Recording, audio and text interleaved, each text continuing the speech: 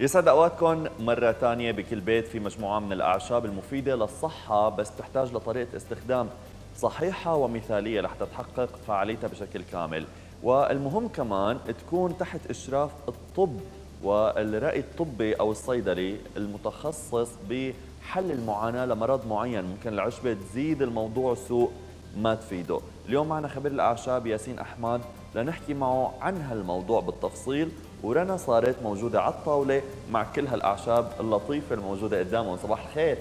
شكرا كثير أهلا وسهلا فيك. لك أستاذ ورد. الله يسعد صباحك شكرا كثير أهلا وسهلا أستاذ ياسين فيك معنا مرة جديدة يعني كل مرة بنحكي عن أعشاب بنحكي عن هيك اليوم. حنتخصص بثلاث أعشاب تحديدا حنحكي نعم. عنهم نعم. نحكي عن فوائدهم طريقة يمكن استخدامهم والاستفادة منهم بالطريقة نعم. المثلى اليوم معنا ميرمية بابونج والمردكوش نعم مردكوش اسمها؟ البردقوش المردكوش okay كل حدا يمكن بيقول نعم نعم هي بيقول أكثر شيء طيب نعم. حنبدأ فيهم وحدة وحدة مشان ما نخلط الأمور ببعضها. هنا نحكي شوي على الميرميه وكيف آه، شو هي أكثر الفوائد اللي ممكن الواحد ياخذها من هي العشبة؟ نعم. طبعا استخدام الميرمية كعشبة مثل ما ذكرنا سابقا هي طريقة المنقوع إن كانت آه، fresh أو مجففة بنفس الطريقة على التوازي يعني بناخذ مقدار ملعقة صغيرة على كوب ماء مغلي مسبقا مع تركه لمدة عشر دقائق بنغطيه بعدين نستعمله.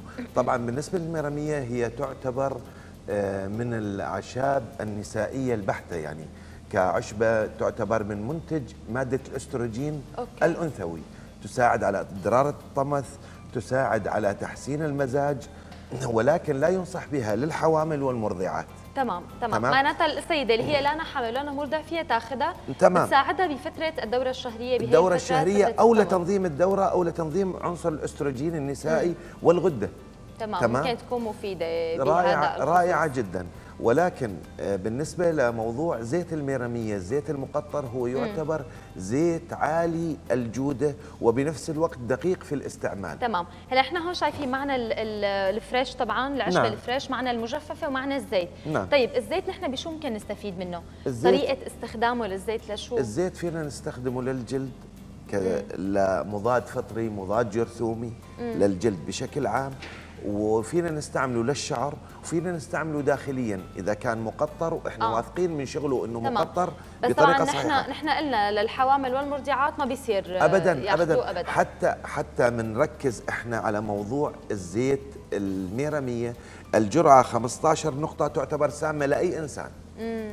تعتبر سامة لأي شخص. تمام. فضروري أخذها بحذر واللي عنده مشاكل إن كانت مثلا خلينا نقول سكري ضغط أو أي مشاكل أخرى مراجعة الطبيب قبل استخدام العشبه يعني هي هي المشكلة اللي نحن دائما بنحكي فيها نعم. أستاذ ياسين إنه الأشخاص بس تقول لهم عشبة روح خذ لك كاسة ميرميه روح خذ. لك كذا بيقولوا. بمعنى إنه الأعشاب إذا ما فادت فهي ما رح ما راح تضر. فهي الفكرة خاطئة جدا تمام معناتها عندنا أكيد الأشخاص اللي عندهم أيضا أمراض مزمنة مثل ما ذكرنا نعم، نعم. السكري الضغط وغيرها من نعم. الأمراض ما بيصير كمان حتى ياخذوا هي حتى الأعشاب يتعا يتعارض مع الأدوية حتى تمام. يتعارض مع الأدوية ففينا إحنا بالنسبة لهالموضوع نراجع الطبيب المختص وناخذ الفائدة اللي إحنا راح نستفيد منها ما تكون مضرة تمام ما ترجع طيب بنتيجة نحن بحال. أخذنا مثلا من الميرميه خلينا نعم. نقول بما انه هلأ عم نحكي عنها أخذنا كمية زيادة نعم غير الكمية اللي نحن لازم ناخذها شو. بتكون آثار الجانبية آثار الجانبية تحسس بالجلد طفح جلدي ممكن يسبب إلى غثيان ومشاكل أخرى للجسم ممكن. هبوط سكري هي طبعا ما بنحكي إذا في أمراض خطيرة طبعا ممكن إحنا بنحكي على الإنسان الطبيعي وأخذ جرعة زائدة تمام هي الإنسان الطبيعي اللي هو ما فيه ما ولا فيه. نعم. ولا مشكلة نعم. آه رح ننتقل للعشبة الثانية المردقوش, المردقوش. لانها هي زميله الميرميه بالنسبة كعشبة نسائية تمام أوكي نعم. بشو بتفيد كمان بتفيد كمان بإدرار الطمث بتنظيم كمان الهرمون النسائي زائد إنها هي تعتبر من الأعشاب الشتوية للطرق التنفسية لتنظيم التنفس. زائد إنه بالنسبة لعشبة المردقوش هي بتعالج الأرق بتعالج الصداع والشقيقة. رائعة جدا ل آه، تحسين المزاج العصبي. أوكي تمام يعني بترخي الأعصاب بترخي الأعصاب. أو بتهدي الأعصاب نقدر كلنا نقول كلنا بحاجة بهالفترة لشيء بيرخي ال- طبعا الأعصاب أكيد طبعا يعني. ممنوعة مثل ما قلنا على الحامل والمرضعات طبعا. تتجنب تناول هالاطفال طبعا بالضرورة جدا وخاصة أي نوع من الأعشاب ما في دراسات أثبتت إلى الآن إنه الأطفال آمنة لاستخدامهم بالنسبة نقدر نستخدم لهم. نعم. نحن هي هي المردقوش نعم؟ ورائحتها. آه، عطرية قريبة من رائحة الليمون أو رائحة المليسة. ريحتها فواحة حلوة إيه رائعة جدا.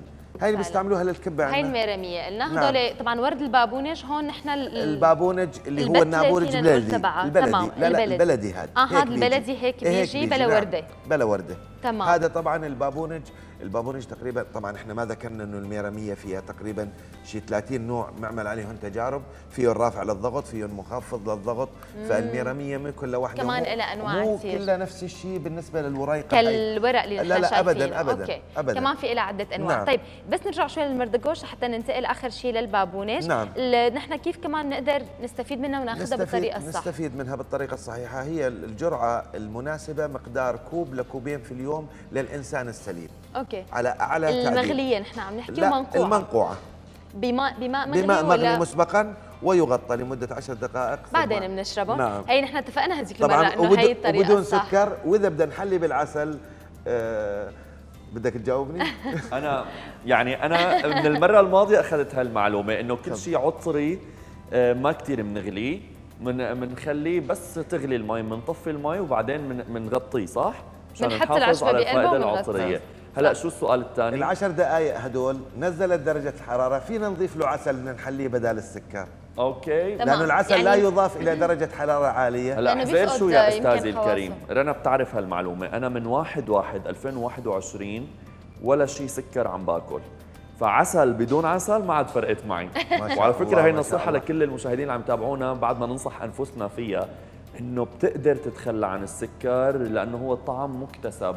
واعتيادي ففيك. أنت تتخلى عنه بمحليات ثانية وبعدين حتى المحليات الثانية تتخلى عنها بصير حتى بلاها بيكون أفضل يعني العسل مفيد يعني أوكي هي عادة. بس قصدي إذا ما انوجد بالمغلي إن كان شاي أو نعنع أو شيء سكر أو. عسل ما. بيأثر كثير. هلا أستاذ أستاذ ورد يعني هرمون السعادة المكتسب من السكر اللي إحنا دائما فاقدينه وعم ناخذه من السكر ومن الحلويات إحنا لما نستغني عنه رح نشعر بسعادة أكبر صحيا تمام إيه هلا نحن كلنا بسوريا شاعرين بسعادة كثير كبيرة بالمواضيع ناقصنا اللي عم ناقصنا بس يعني نشوف كيف بدنا ناخذ بقى هرمون السعادة من السكر أو من فأنت الهي بتاخذه من السكر فأنت إذا استغنيت عنه بتاخذ هرمون أقوى إيه اللي أقوى هو القناعة محبة. الناس إن شاء الله يعني- أكيد محبتنا. لبعض نحن هي- من باب الدعابة بنحكي لنخفف عن بعض شوي إيه والله نعم. أكيد أكيد يعني.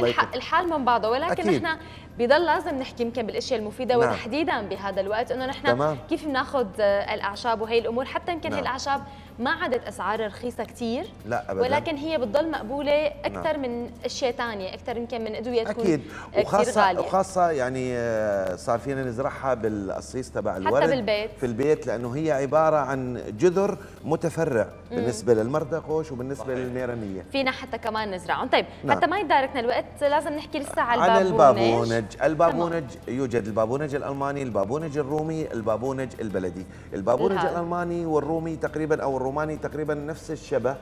واحد تمام. البابونج الألماني يساعد على رفع الضغط.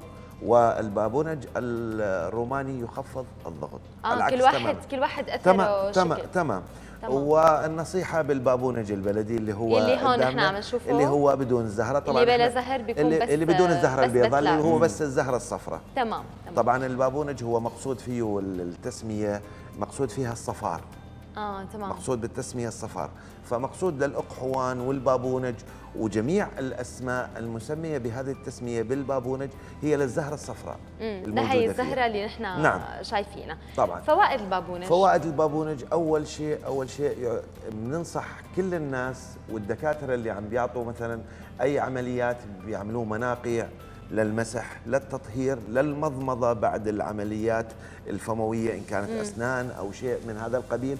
مغاطس نسائية رائع جدا مطهر جيد وزائد, فوق هالكلام هذا ويعتبر غسول للوش مطهر للوش. آه، طبعا آه، يدخل في صناعة الكريمات الطبيعية لتوحيد لون البشرة زيت. ال chamomile. آه تمام. معناتها نحن. زيت البابونج نحن فينا نستخدمه كمان للبشرة للبشرة وللشعر. عم نحكي بس ما فينا للوش بس للبشرة لا لل- للوش لل- حتى للوش, فينا نستخدمه okay. بالعكس الزيت المقطر آه، رائع جدا حتى الزيوت الباقية فينا نستعملها على الشعر مباشرة تخفيف أو بدون تخفيف تمام. فينا نستخدمها يعني للشعر كل هي الزيوت هي تستخدم أيضا تستخدم للبشرة وللبشرة. تستخدم للشعر تستخدم لل- للوجه بالنسبة للزيت ال- ال- البابونج يعني بيدخل بتركيبة المراهم والكريمات اللي هي أصلا تساعد على توحيد لون البشرة تمام بتساعدنا كمان بهذا الخصوص يعني نعم. هي الأعشاب هي كثيره ونحن دائما بنحاول نقول نعم. إنه الواحد إذا قادر ياخذ المصدر الطبيعي وقادر ياخذ الشيء الطبيعي اللي ما فيه تداخلات كيميائية نعم. أو ما فيه مواد كيميائية فهو أكيد بيكون أفضل وبلا سكر الآن اتفقنا. موسم الربيع لوجود هالمنتوجات الطبيعية لنجففها بإيدينا في بيوتنا نفس ما ذكرنا سابقا تمام. لرفع المناعة البابونج رائع جدا خصوصي بهالوقت. نعم نعم نعم تمام. نشكرك كثير أستاذ ياسين على وجودك معنا وعلى المعلومات اللي قدمت لنا إياها. شكرا كثير. الله يسعدك يا رب. الله أهلا يسعدك وسهلا شكرا كثير.